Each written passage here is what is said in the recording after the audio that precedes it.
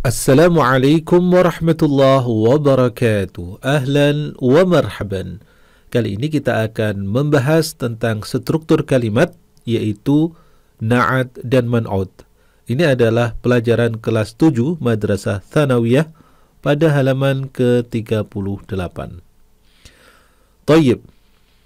Na'at adalah kata yang memberikan sifat atau karakteristik tertentu pada kata yang akan di depan yang ada di depannya. Sedangkan man'ud adalah kata yang disifati. Ya. Kita pahami dulu ya, na'atnya itu adalah sifat ya, kata yang ada di depannya. Ya, na'at adalah sifat atau karakter ya. Lalu man'ud man'ud ini adalah benda yang diberi sifat atau karakter. Benda yang diberi sifat atau karakter. Jadi uh, man'ud dulu baru na'at sifatnya. Jadi kan bendanya dulu baru disifati seperti itu. Contohnya, ya ini adalah uh, kita bahas di bahasa Indonesia-nya dulu ya. Ibrahim adalah siswa yang rajin. Ya. Di sini, ya di ka, ka, kata kalimat ini yang merupakan naat atau merupakan sifat adalah rajin. Rajin, rajin itu kan sifatnya atau karakter seseorang.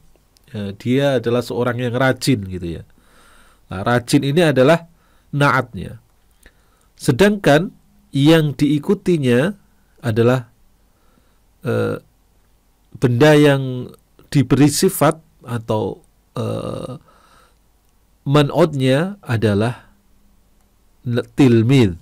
Ya, di sini dijelaskan Ibrahim ya, Ibrahim ini mubtada yang kemarin kita sudah bahas.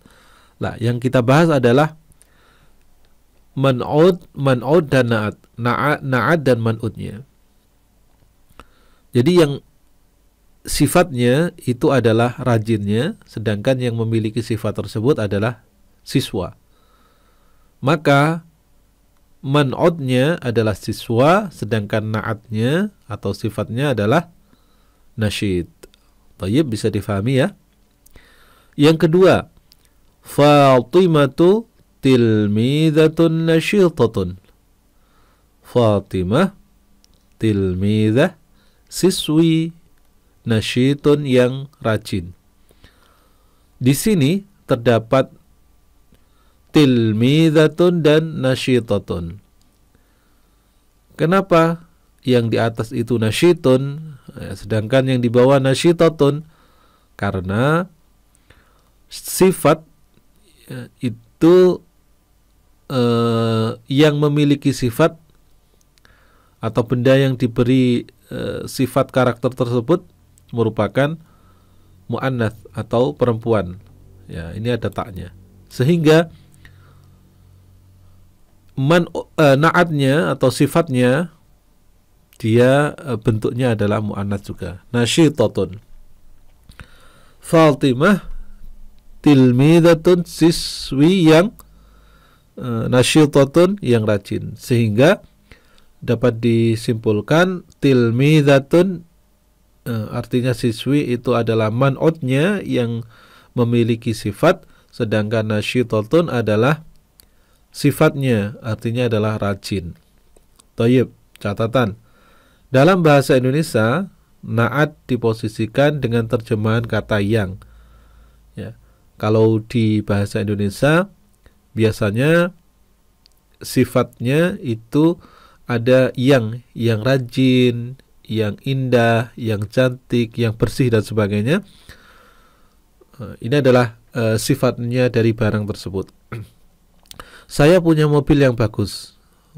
ini mobil, mobil adalah uh, man'udnya yang memiliki sifat bagus. Nah, naatnya adalah yang bagus. Faruk adalah siswa yang rajin. Nah, man'udnya adalah siswa, sedangkan naatnya adalah yang rajin. Ini kalau di bahasa Arab kan saya memiliki, ah, saya punya indi lalu mobil sayyarah yang bagus, ya, bagus apa? Bisa jamil, ya. Indi sayyaratun jamilatun. Tayyib. Faruk Faruk uh, siswi siswa tilmidun nasyitun. Tayyib eh, naat harus sesuai dengan man'ud dari sisi jenis kelaminnya, mudzakkar dan muannats. Nah, di sini tadi kita juga sudah mempelajari naat itu harus sesuai dengan man'ud. Naat yang ini harus sesuai dengan yang yang man'udnya, ya yang mempunyai sifatnya. Jadi sifat itu harus sesuai dengan yang mempunyai sifat. Kalau man'udnya itu perempuan maka sifatnya juga harus perempuan seperti itu. Toyib bisa difahami ya. Semoga bisa difahami dan berkah. Jangan lupa like, komen, dan subscribe. Assalamualaikum warahmatullahi wabarakatuh.